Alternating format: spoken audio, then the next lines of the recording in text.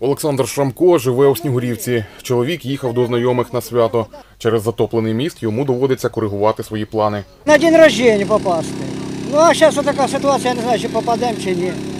Чи розрішать проїхати, чи ні. Олександр Шрамко говорить, раніше з мостом все було гаразд. Ну раніше було нормально, я не знаю, а це кажуть, ось поганий мост став. Міст через річку Інгулець сполучає Снігурівку з п'ятьма селами. Зранку перед спорудою сформувалася черга з автомобілів. Ті, хто в ній стоїть, звинувачують водіїв великовантажного транспорту та чиновників.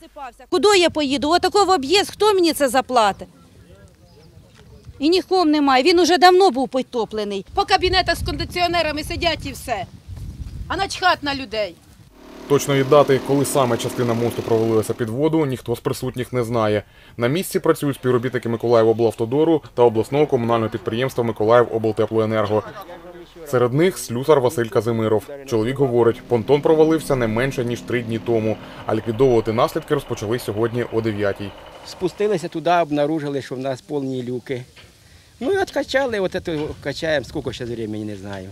11 часов. От до 11 часов ми качали двома помпами. Ви бачили самі.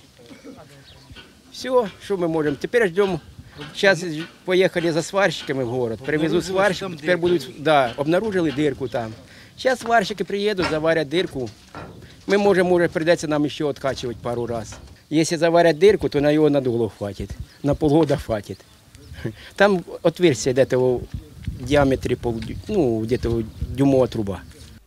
Олександр Лемак, житель Снігурівки, говорить, часто їздить у справах через цей міст. На думку чоловіка, споруду треба охороняти.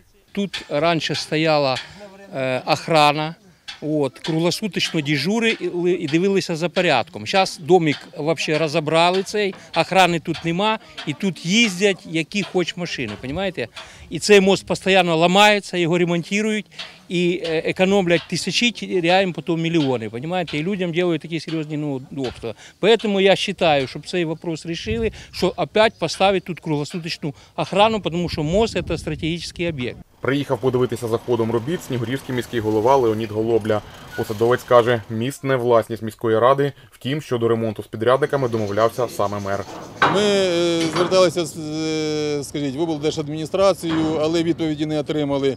Тому вирішили, хоча об'єкт не, не є власністю Снігурівської міської ради, не стояти осторонь. Леонід Голобля говорить, охорона не допоможе убезпечити споруду. Реальний вихід із ситуації відремонтувати міст і контролювати рух вантажівок за допомогою вагового комплексу.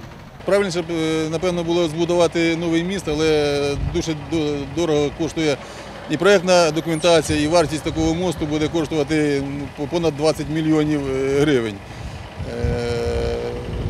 Якщо е, не будувати, то саме підтримувати цей міст е, в нормальному робочому стані і при цьому одночасно здійснювати контроль за тим транспортом, який е, так, переїжджає через цей міст. Я маю на увазі багатотонажний транспорт. Тобто бруто не повинно перевищувати 20, 20 тонн.